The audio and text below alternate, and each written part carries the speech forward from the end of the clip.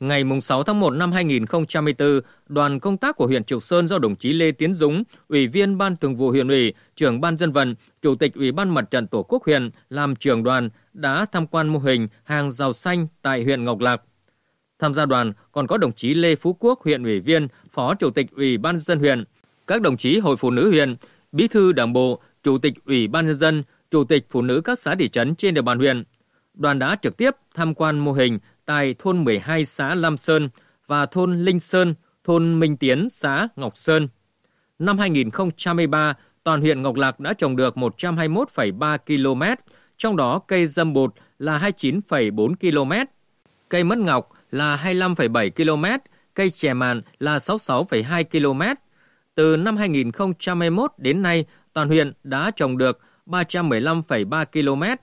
trong đó cây dâm bụt là 90,3 km, cây mất ngọc là 97,8 km, cây chè màn là 127,1 km. Có được kết quả trên trong những năm vừa qua, huyện Ngọc Lạc đã làm tốt công tác tuyên truyền vận động, tập huấn khoa học kỹ thuật ươm giống, trồng, chăm sóc hàng rào xanh. Toàn huyện đã xây dựng được 56 vườn ươm, quy mô trên 6.500 m2. Trong đó có giống chè mạn, giống cây mắt ngọc và giống cây dâm bụt.